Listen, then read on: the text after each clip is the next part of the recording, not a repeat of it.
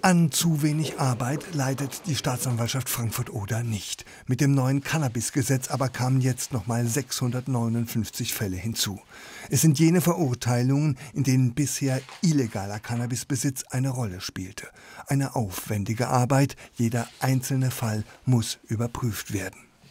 Es ist kompliziert, weil ähm, dahingehend ja noch keine Rechtsprechung existiert.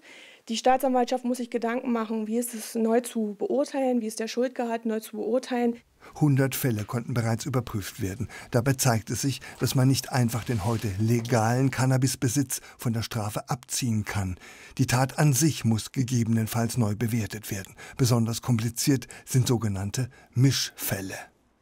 Fälle, in denen Täter nicht nur wegen Vergehen nach dem Betäubungsmittelgesetz äh, verurteilt wurden, sondern eben auch wegen anderer Strafen und das Gericht in diesen Fällen sogenannte Gesamtstrafen, Gesamtgeldstrafen oder Freiheitsstrafen austenoriert hat.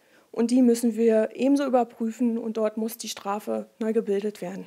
Und auch schon die Bestimmung der juristisch relevanten Cannabismenge kann nach Auskunft des Justizministeriums eine Wissenschaft werden, so sei es maßgeblich, an welchem spezifischen Ort der Verurteilte das Cannabis besessen hat und ob und inwieweit die Grammzahlen nach Trocknung erhoben wurden.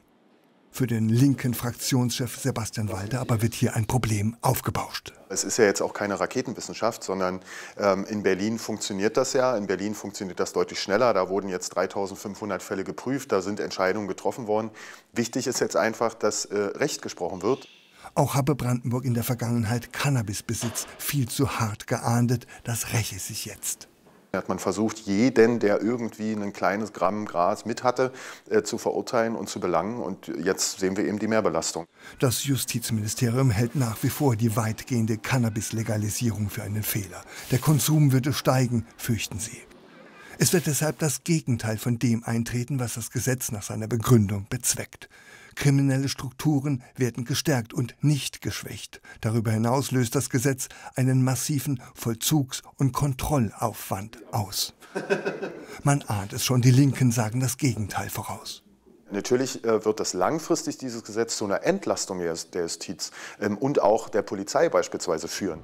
Erstmal aber haben die Staatsanwaltschaften alle Hände voll zu tun mit dem Kraut.